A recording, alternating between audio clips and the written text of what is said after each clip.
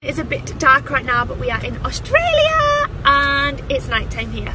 But I just wanted to quickly say that lots of you guys have been messaging me worried about our Instagram and why we're taking it down. And I just wanted to fill you in really quickly on that.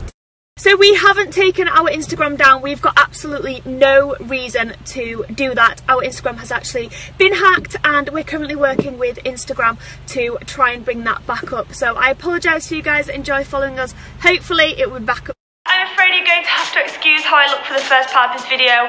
I'm not feeling great. We haven't slept for, I don't know, a day and a half or something like that.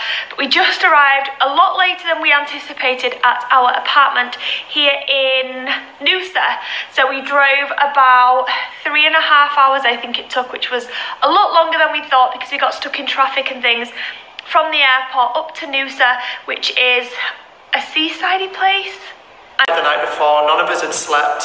We'd arrived at 7am into Australia and she'd been told to go out into the terminal and her husband had been taken away and she was left there also with three children who were desperate to know where their dad was, why I'd been taken away. Sarah, worried out of her mind, no idea what's happening with me.